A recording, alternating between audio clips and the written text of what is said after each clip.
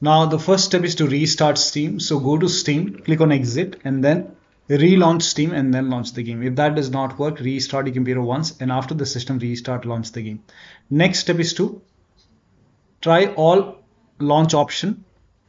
So when you launch the game, it gives you these these options so you can try play ready or not DirectX 11 you can even try play safe mode no mods you can even try launch clean mods save data and you can even try DirectX 12 so try all the option one by one and check which one is working fine for you. Now the next step is to delete the config file. Now to delete the config file let me inform you before you delete it all the saved settings will be lost. To delete the config file open file explorer in computer go to this PC open C drive now open users folder now open your username folder now open app data folder. If you don't see app data at the top, click on view, select show and then put a check on hidden items and then open app data folder. Open local folder, open ready or not folder and open saved folder. Here you can see config folder. So you can just uh, rename it or you can just delete this folder. Once you delete it, now you can launch the game and then check.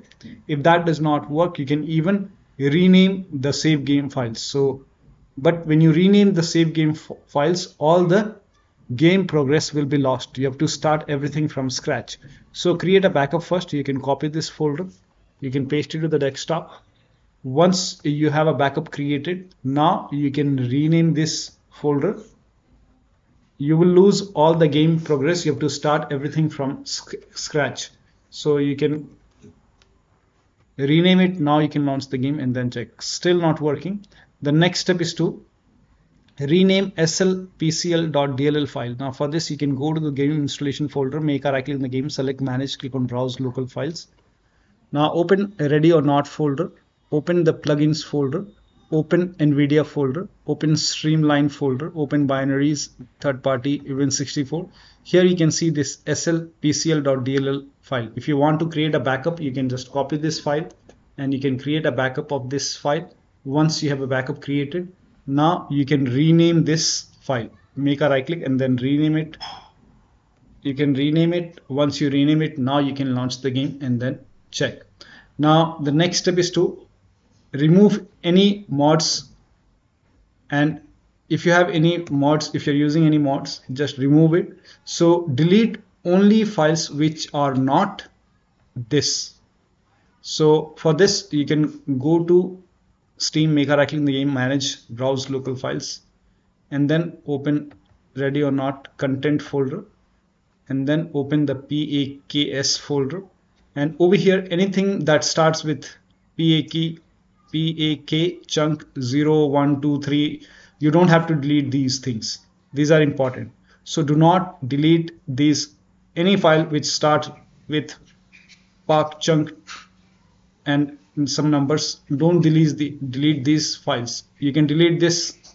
In my case this is the mod. So you can delete this make a right click and delete. Also there is an exception. If you have this PAK chunk 20 in your over here so in my case it's 19 then there is no 20 over here. But if you find this PAK chunk 20 you can delete it delete this one.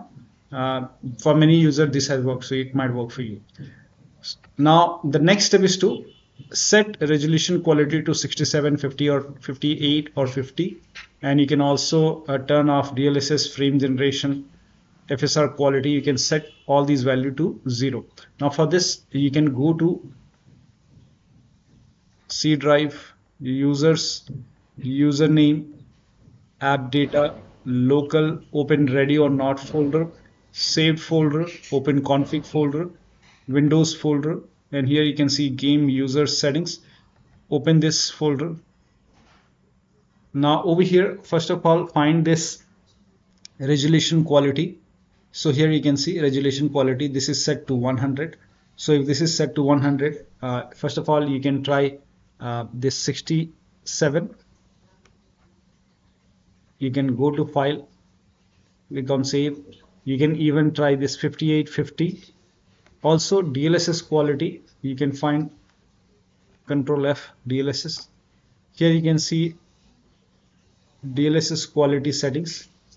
If this is set to 4 or any uh, let me check DLSS quality settings. Yeah. So for this uh, you can just set this to 0 and then go to file click on save and then find frame generation settings. Find frame generation.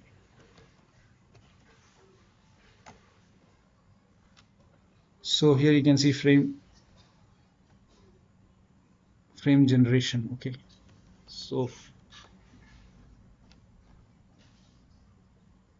so here you can see frame generation settings. Now if this is set to uh, yeah. Set this to 0 over here. Again file save. And then find this F FSR quality settings.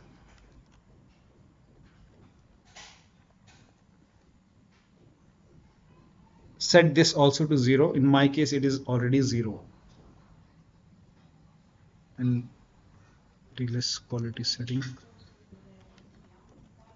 so this is already 0 once you make the changes go to save and go to file and then click on save.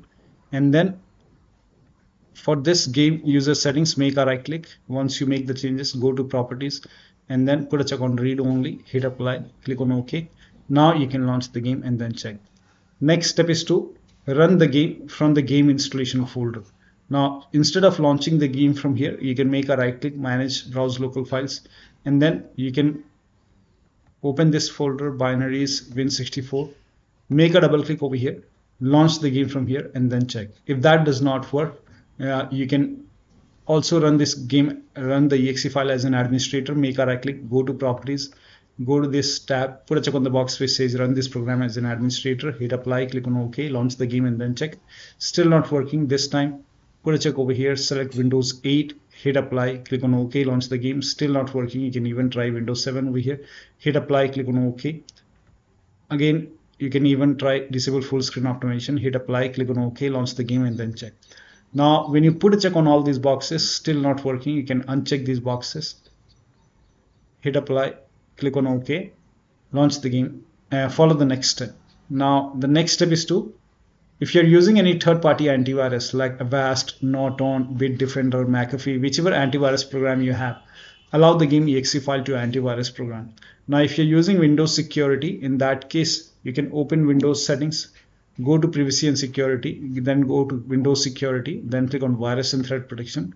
Scroll down at the bottom, you will see manage ransomware protection. Click on it. Click on allow an app through control folder access. Click on yes to allow.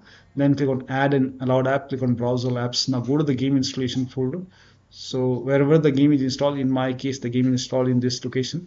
Select the game exe file. Now click on open. Again, click on browse all apps. Open this folder, binaries, Win64. Select this exe file. Click on open.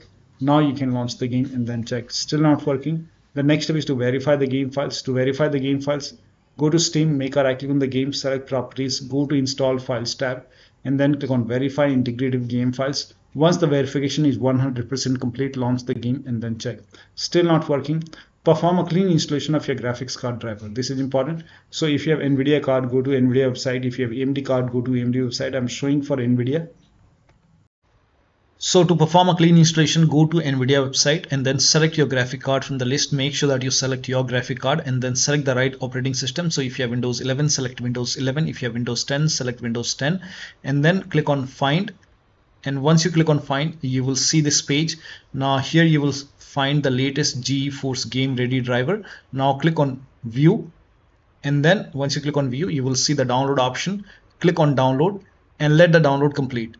Now once the download is complete, run the exe file. Now once you run the exe file, you will see this screen. Click on agree and continue and then select custom option over here.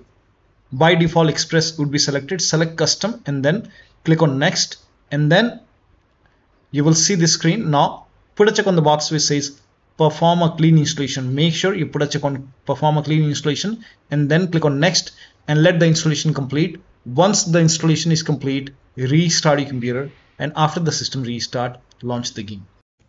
AMD card users first of all uninstall the current graphic card driver, restart your computer, then go to AMD website and then install the latest graphic card driver again restart your computer and then launch the game next step is to run the game on dedicated graphic card now for this type in graphics settings in windows search box click on graphics settings and then click on add desktop app and then open the game folder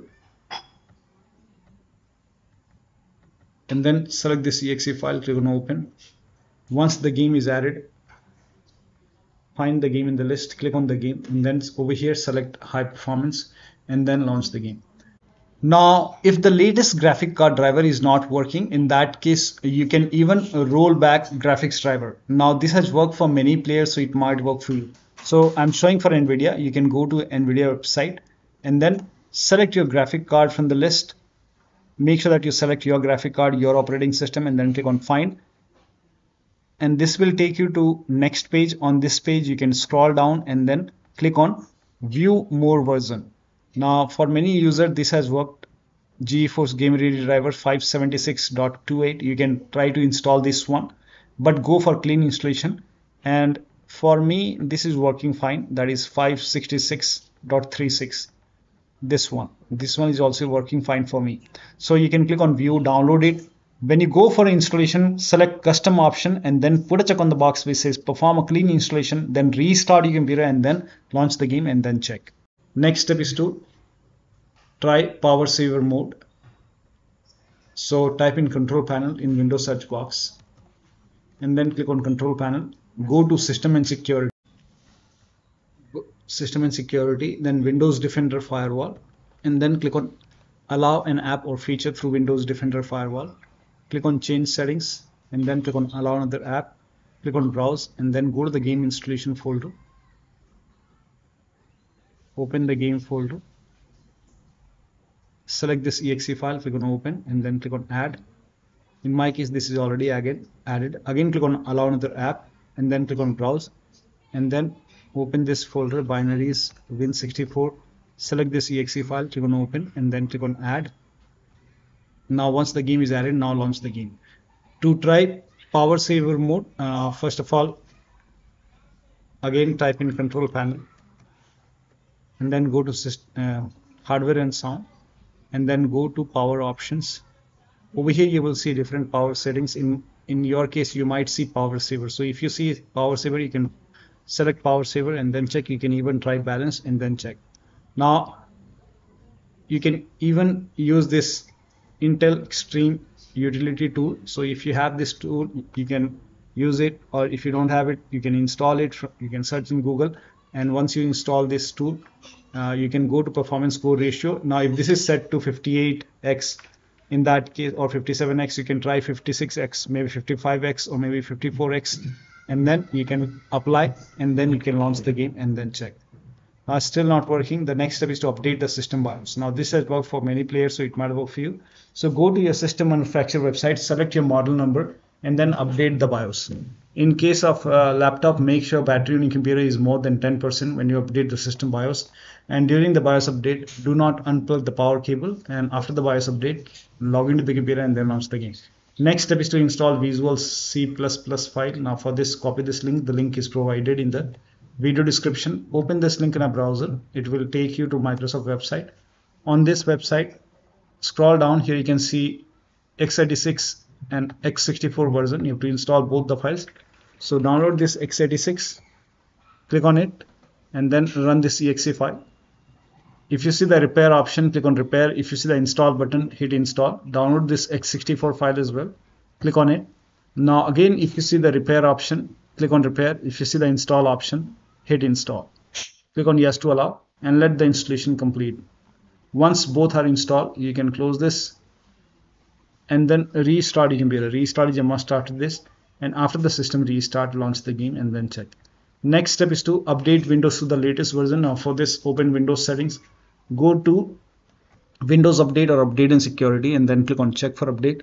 Once all the updates are installed over here and then restart your computer and after the system restart launch the game and then check. Next step is to unplug all the external devices from the computer. So if your HOTAS, wheel, pedals, any kind of USB adapter connected, disconnected disconnect additional controller. Sometimes we have extra controller connected disconnected. Disable steam overlay. Now for this you can go to steam make a right click on the game select properties and turn off the option which says enable the steam overlay while in game turn it off and then launch the game. If you have any other overlay application like discord running go to discord settings turn off overlay. If you have nvidia app running go to nvidia app settings turn off overlay.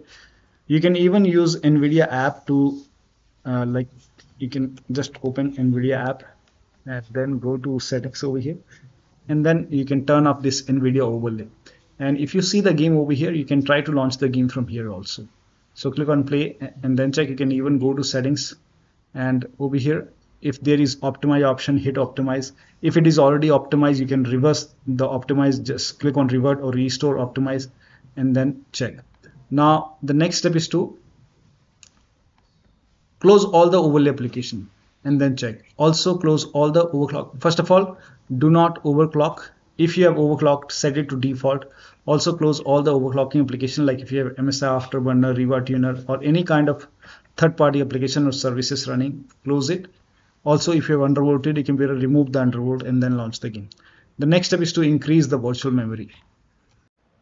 So to increase the virtual memory, type in View Advanced System Settings in Windows search box and then click on View Advanced System Settings and then click on the first settings and then go to Advanced tab and then click on Change over here and then select the drive so uncheck the box which says automatically manage paging file size for all drives. Uncheck this box and select the drive where the game is installed.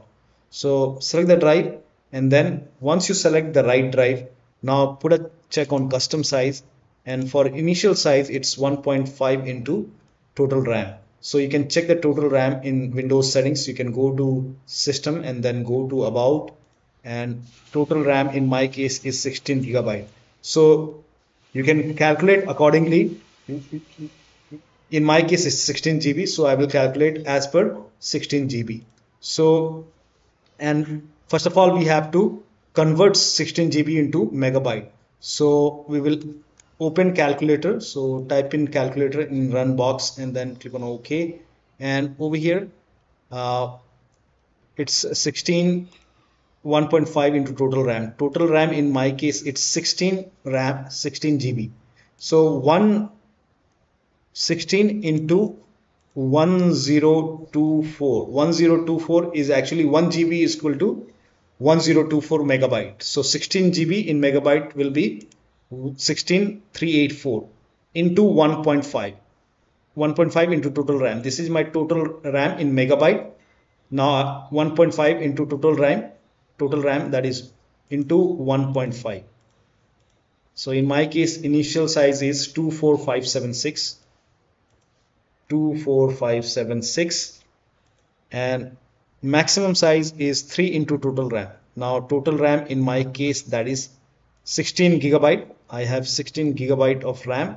So 16 into 1024 I have converted this in megabyte. Megabyte now that is 3 into total RAM. So total RAM is this much into 3 that is 49152 49152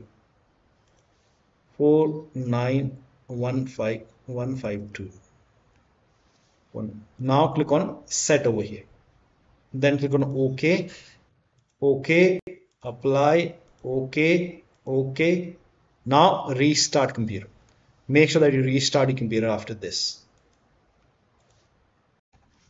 Now the last step is to uninstall and reinstall the game to different drives. So if nothing is working, you can just uninstall the game. Now after you uninstall the game, go to the game installation folder, delete the game folder, restart your computer and then install the game to C drive.